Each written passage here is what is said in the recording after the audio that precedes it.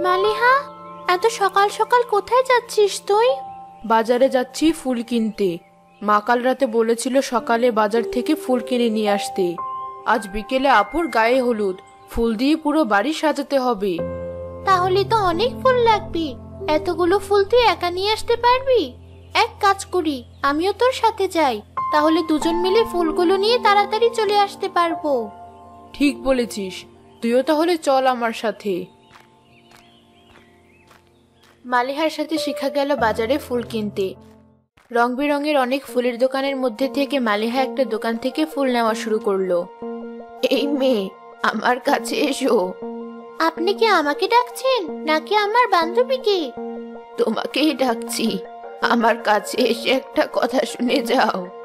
জি বলুন কি বলতে চান আমাকে? এই নাও তোমার জন্য এই ফুলটা। বাহ এই ফুলটা তো দেখতে অনেক সুন্দর আর এর গ্রানটাও বেশ চমৎকার। কি নাম এই ফুলের? এটা নামহীন ফুল। শুধুমাত্র তোমার জন্যই এই ফুলটা এনেছি আমি। ফুলটা আমার অনেক ভালো লেগেছে। এই নিন আপনার ফুলের মূল্য। এই ফুলের মূল্য এত সামান্য নয়। তোমার বান্ধবীকে রেখে তুমি আবার আমার সাথে দেখা করতে এসো। তখন আমি তোমাকে বলব এই ফুলের মূল্য। এখন তোমার বান্ধবীর কাছে ফিরে যাও। কি রে শিখা কোথায় চলে গিয়েছিলি? এই নে এই ফুলগুলো ধর। আর তোর হাতে ওটা কি? তেমন কিছু না। একটা ফুল ভালো লেগেছিল তাই কিনে আনলাম। চল এখন তোর বাড়ি যাই।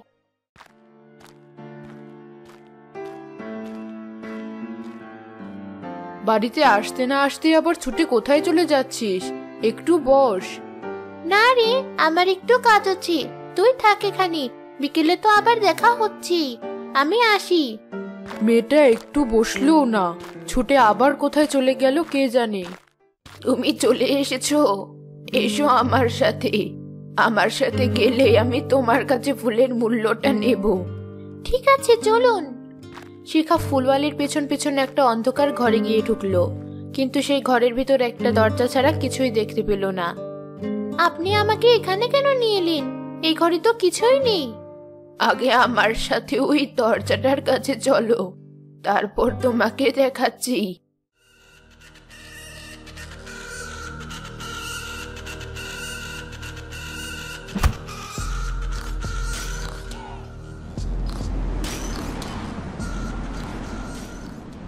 শিখা নরম কিছু একটার উপরে গিয়ে পড়ল।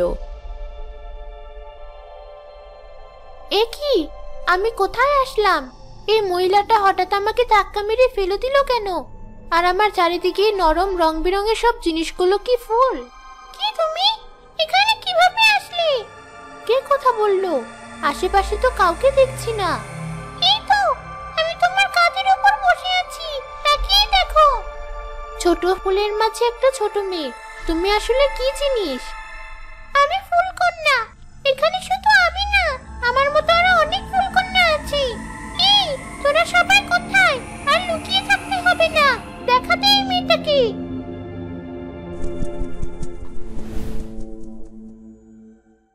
এতগুলো ফুলের মাঝে তোমার মতো ছোট ছোট এতগুলো মেয়ে? আমি বোধহয় তোমাদের গায়ের উপরেই পড়েছিলাম। তোমাদেরকে ব্যথা দেওয়ার জন্য দুঃখিত আমি। না, তুমি তো সাধারণ ফুলগুলোর উপরই পড়েছিলে। আমরা সবাই তো ভয় লুকিয়েছিলাম।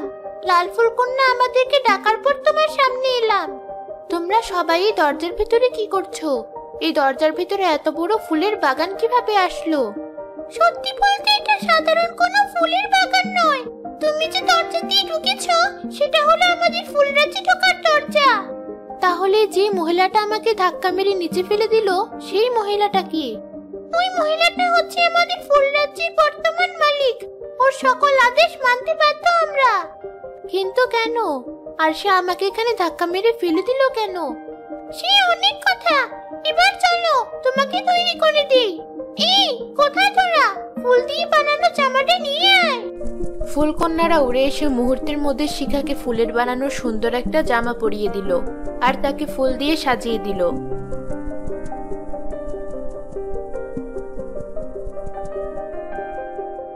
জামাটা দেখতে অনেক সুন্দর। আমার খুব পছন্দ হয়েছে। কিন্তু তোমরা এই জামাটা কখন বানালে?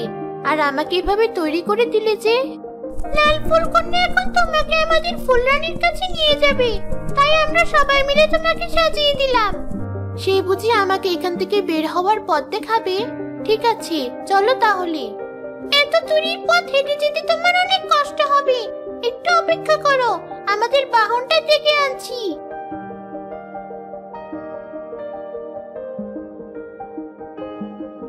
বড় ফুল। আমরা কি ফুল দিয়ে তোমাদের রানীর কাছে যাব? হ্যাঁ এখন এই ফুলের উপর উঠে বসো। এই ফুলটাই আমাদেরকে উড়িয়ে নিয়ে যাবে রানীর কাছে।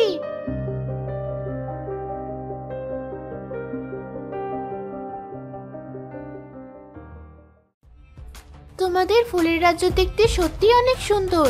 যেখানেই চোখ যায় শুধু রং বেরঙের ফুলের সমাহার।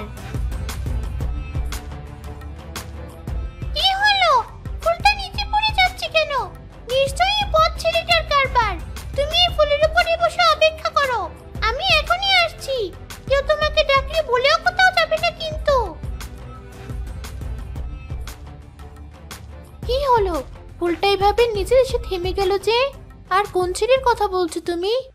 বেশি কথা বলো না তো। আমাকে আমার কাজ করতে দাও। চুপচাপ এখানে বসে থাকো। আমি ওদিকটায় যাচ্ছি।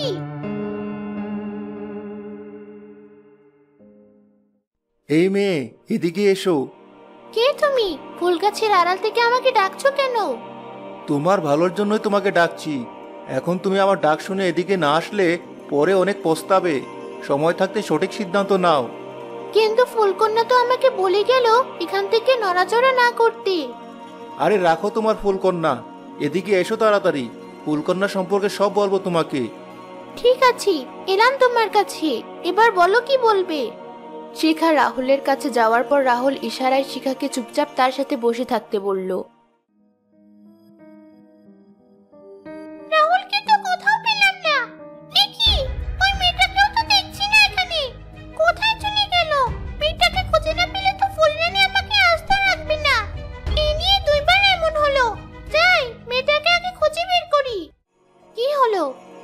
আমাকে ফুলকন্যার সাথে যেতে মানা করলে কেন?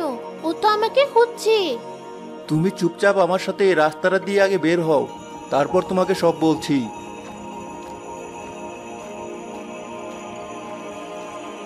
বের তো হলাম এবার বলো কি বলবে? বলার চাইতে তোমাকে দেখালেই ভালো হবে। তুমি চলো আমার সাথে ফুলরানির বাড়িতে। ফুলকন্যারা নাকি আজ আমার বাড়িতে একটা মেয়েকে পাঠাবে? কোথায় ও? আসতে এত দেরি করছে কেন? নীল ফুলকন্যার সাথে আমার কথা হয়েছিল। লাল ফুলকন্যা ওই মেয়েটাকে নিয়ে বের হয়েছে। তো পরেই হয়তো চলে আসবে। ওরা বোধহয় আমার কথাই বলছি। এখানে যখন এসেই পড়েছি ফুলরানির সাথে গিয়ে দেখা করে আসি। সেই হয়তো আমাকে এখান থেকে বের হওয়ার পথ বলে দিতে পারবে। দাঁড়াও আগেই না। আর একটু অপেক্ষা করো। অনেকদিন হয়ে গেল কোনো মেয়েকে দানবের করতে ফেলি না। ওই দানবটা যদি আজও কোনো মেয়েকে খেতে না পারে তবে গর্ত থেকে উঠে এসে আমাকে আর আমার ফুলকন্যাদের খেয়ে ফেলবে। তখন এই ফুলের রাজ্য ধ্বংস হয়ে যাবে। চিন্তা করবেন না রানী সাহেবা। এবার আর কোনো ভুল হবে না। ওই মেয়েটা এসে পড়লে আমরা আর দেরি করব না। তার মানে ওরা আমাকে নিয়ে এত আয়োজন করেছিল অবশেষে দানবের কাছে ফেলার জন্য? এবার বুঝলে তো আসল ঘটনা। এর আগেও ফুলরানী অনেক মেয়েকে এভাবে মেরেছে। তোমার আগে যে মেয়েটা এখানে এসেছিল তাকেও আমি অনেক কষ্টে এখান থেকে বের করেছি। এবার তোমার পালা। কিন্তু কোন দিক দিয়ে আমরা বের হব? রানীর ঘরের ভেতরে একটা দরজা আছে। একটু পরেই রানী উপরের ঘরটাতে চলে যাবে। তখন ডিমসানার চোখকে ফাঁকি দিয়ে আমরা ওই দরজা দিয়ে বেরিয়ে পড়ব। কে তুই সপ্তাহ হয়ে গেল। এই গর্তে কোনো মেয়েকে ফেলিসনি তুই। কি ভেবেছিস? সামান্য একটা গর্তে আমাকে আটকে রাখতে পারবি তুই? আমার খোদা যদি আজকের মধ্যে না মিটে তবে এই গর্ত ভেঙে বেরিয়ে তোদের সবাইকে সাবার করব আমি। আপনি কোনো চিন্তা করবেন না। আপনার খাবার একটু পরে এসে হাজির হবে। আমি একটু উপরে যাচ্ছি খোঁজ নিতে। সব ঠিকঠাক আছে নাকি?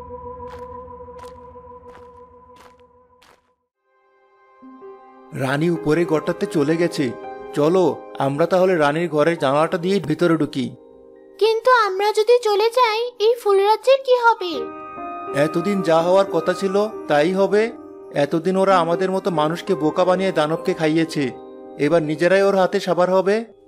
কিন্তু এত সুন্দর একটা ফুল রাজ্য এভাবে ধ্বংস হয়ে যাক সেটা আমি চাই না। আমি চাই ওদের সবাইকে দানবের হাত থেকে উদ্ধার করতে। যারা তোমার সরলতা সুযোগ নিয়ে তোমাকে দানবের মুখে ফেলতে চেয়েছিল তুমি তাদের কি সাহায্য করতে চাইছো? হ্যাঁ ওদেরকে বিপদের মুখে ফেলে পালাতে চাই না আমি। ওই দানবটাকে আমি মারতে চাই। তুমি কি আমাকে সাহায্য করবে? ঠিক আছে তবে সাবধানে।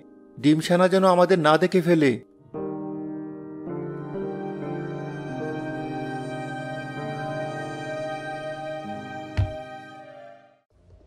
জানালাতে কিছু শব্দ শুনলাম মনে হয়?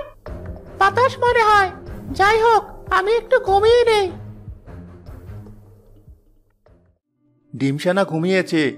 ওই তো দানবের গর্তটা। এবার বলো তুমি কি করতে চাও? তোমার ওই ব্যাগটাতে কি কি আছে? দেখি ওগুলো দিয়ে কিছু করা যায় কিনা?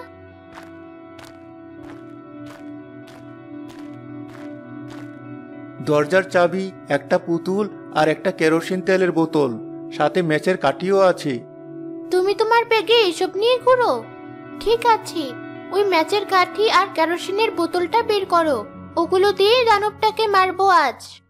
কে আমার গর্তের সামনে কথা বলছিস? ডিম সেনা শুনেছ? ওই মেয়েটা নাকি ফুলকন্যার হাত থেকে পালিয়েছে। এখন কি হবে? এ কি? এই ছেলে মেয়েগুলোকে ডিম সেনা তুমি এখানে বসে বসে কি করছ?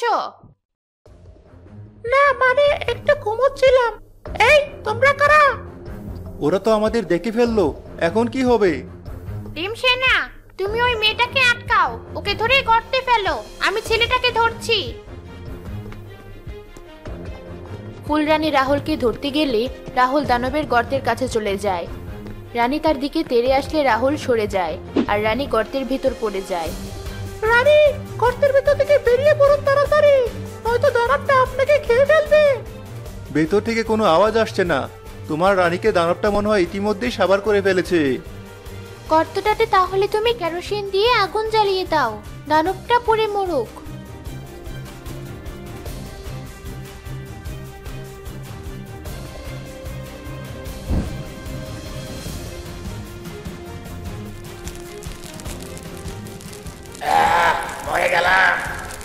বাঁচাও। আমাদের কাজ তো শেষ। এখন ফুলরাজ্যে সবাই নিরাপদ। এই ফুলরাজ্যে মনে হয় আগুন জ্বালানোর কোনো উপায় নেই। তাই ওরা ডানবটাকে হারাতে পারছিল না। চলো, এখান থেকে যাওয়া যাক।